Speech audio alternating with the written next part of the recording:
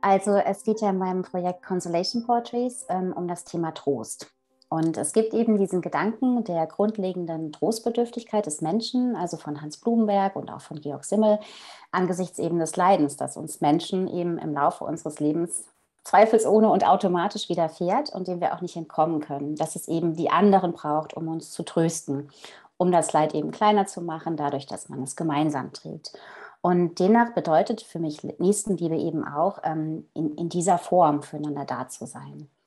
Und in der Pandemie waren wir ja auf ganz äh, vielfältige und auch sehr neue Art gefordert und eben ganz direkt auch mit Themen wie Einsamkeit, Ängsten, Tod oder ähm, Verlust konfrontiert. Und ich habe mich selbst dann ähm, gefragt und auch zu meiner Arbeit als Fotografin, ähm, was Nächstenliebe eben in diesem Kontext auch sein könnte. Und ähm, habe eben daraufhin dann begonnen, Menschen zu porträtieren und sie auch zu fragen, was das für sie ist. Und dann habe ich versucht, diese Menschen und auch die Dinge, die sie eben als Trostspender genannt haben, zu fotografieren. Das waren dann so Sachen wie körperliche Nähe, also ganz einfache Umarmung, genauso wie ein ähm, geliebtes Haustier, die Natur oder auch ähm, die Liebe zum Tanzen zum Beispiel. Und ähm, letzten Endes war dann für mich selbst sogar der Arbeitsprozess, also ein Teil von diesem Trost, einfach ähm, den Menschen zuzuhören bei den Interviews, sie zu sehen, ihnen Aufmerksamkeit und Zeit zu schenken, ähm, wie es beim Fotografieren geschieht, ähm, sind für mich eben auch Dinge, die, die für beide Seiten dann tröstend sein können, einfach weil sie Nähe zwischen zwei Menschen herstellen. Und ich glaube, das ist dann beim Trost ähnlich wie auch bei der Nächstenliebe und vielleicht sogar auch bei der Liebe, dass es eben diese Beidseitigkeit gibt, also dass es für den Gebenden und den Nehmenden ähm, einen positiven Effekt hat.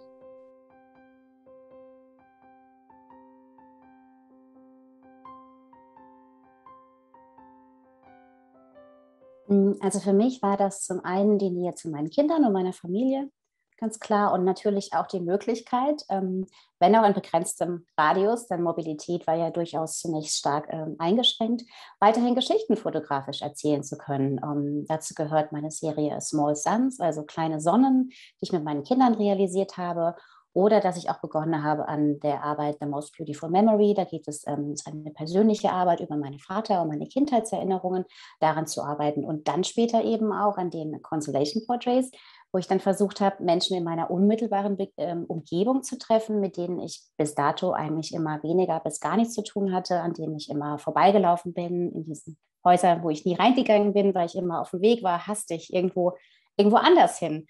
Und das habe ich dann genutzt, um, um um das zu machen. Und ich glaube, ich wollte einfach weiter produktiv bleiben. Und das ist, glaube ich, ein großer Trostspender auch für mich gewesen. Ansonsten auf einer persönlichen Ebene muss ich sagen, ganz klar auch einfach Sport und die Natur. Also in die Natur zu gehen, ähm, was mir geholfen hat, eben einen Ausgleich zu schaffen für die Zeit, die ja doch relativ stressig war, so für alle.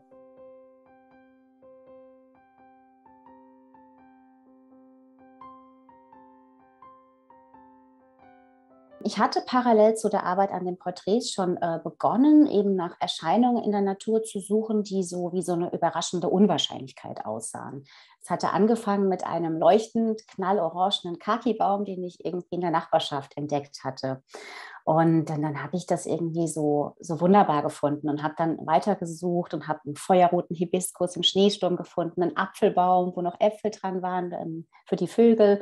Und ähm, ich habe das dann im Nachhinein kombiniert mit den Porträts, weil ich einfach darin in diesen Naturbildern auch so ein bisschen eine Metapher gesehen habe, eben für die Stärke der Natur, ähm, der so eine Resilienz innewohnt, die wir als Menschen auch eigentlich in uns haben, weil wir eben selbst auch Teil der Natur sind. Wir vergessen das nur manchmal und fühlen uns dann verloren. Aber allein der Gedanke eben, dass die Natur, in der Natur ist alles zyklisch, also es ist immer ein Wechsel aus Werden und Vergehen. Und ich finde, alleine dieser Gedanke ist schon ein richtig großer Trostspender, dass man irgendwie weiß, nach jedem noch so harten Winter kommt immer wieder ein Frühling.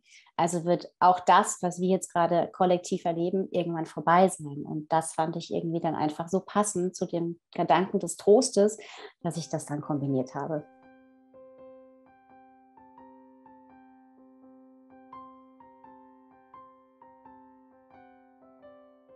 Also die Reaktionen waren eigentlich durchweg positiv. Ich habe ähm, vorab immer auch ganz genau kommuniziert, warum ich diese Bilder mache, die Idee eben des Betrostes und ähm, bin auch immer erst mal ein paar Mal zu Besuch gegangen und habe ähm, mich mit den Menschen unterhalten und habe dann hinterher auch die Bilder ausgedruckt und so quasi vorbeigebracht als kleines Geschenk. Ich muss sagen, ehrlicherweise, dass ich das nicht bei jedem Projekt schaffe. Also manchmal hat man auch einfach Aufträge, wo das irgendwie schnell geht und das ich dann das zeitlich auch einfach nicht äh, stemmen kann, so als arbeitende Fotografin. Aber gerade bei dieser Sache, ähm, wo ja auch ähm, das in der Nachbarschaft passiert ist, also in meinem engsten Radius, fand ich das dann doch schon sehr angebracht, ähm, das zu machen und dieses Feedback auch zu bekommen. Und ja, bei meinen Kindern ähm, die haben das ja schon öfters gemacht, die sind, sind ja auch auf den Bildern drauf, die sind schon öfters fotografiert werden, worden und ähm, die waren dann auch durchaus sehr stolz, als sie sich dann auch, ähm, ihr Foto war ja auch im Christmann-Magazin veröffentlicht, als sie sich dann da entdeckt haben, waren, haben sie sich schon sehr gefreut.